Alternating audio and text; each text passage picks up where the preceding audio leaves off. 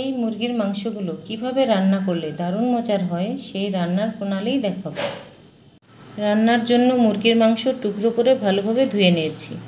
মাংসের লবণ, হলুদ, রসুন বাটা দিয়ে দিচ্ছি ও লেবুর রস দিয়ে ভালোভাবে মেখে নেব। ম্যারিনেট করা মাংস কিছু সময়ের জন্য রেখে দেব। এই মাংস রান্নার জন্য কড়াইয়ে সরিষার তেল দিয়েছি। তেজপাতা, জিরা, ফোড়ন দেব। তেলে অল্প আলুর টুকরো দিয়ে দিচ্ছি। আলুর টুকরোগুলো হালকা ভেজে পেঁয়াজ কুচি দিয়ে দিলাম। পেঁয়াজগুলো ব্রাউন কালার হয়ে এসেছে, এখন রসুন বাটা দেব।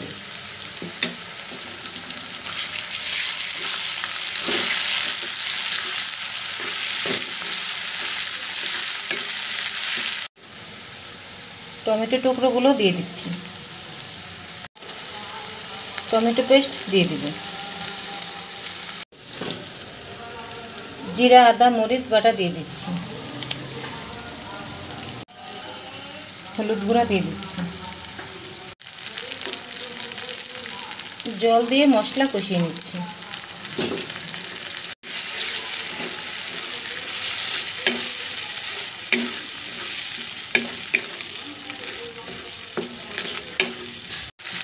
মশলাগুলো ভালোভাবে কষিয়ে নিয়েছি। এখন মাংসগুলো দিয়ে দেবো।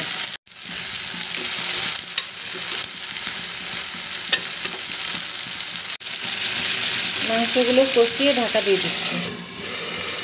মাংসগুলো প্রায় সিদ্ধ হয়ে এসেছে। এখন ঝোলের জন্য জল দেব।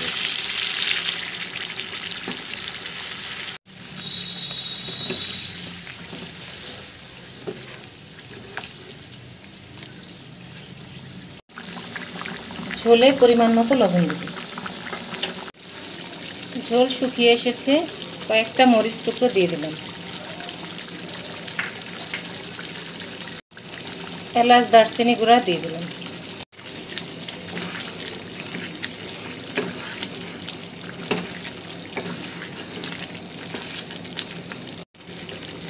আলুর টুকরোগুলো তুলে রেখেছিলাম, দিয়ে দিচ্ছি।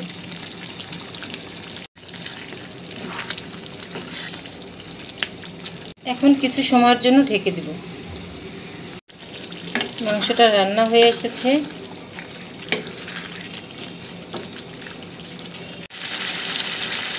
এখন নামিয়ে নেব। খুব সহজে ঝটপট মুরগির মাংস ভুনা করা যায়। তৈরি হয়ে গেল দারুণ মজার মুরগির মাংস ভুনা।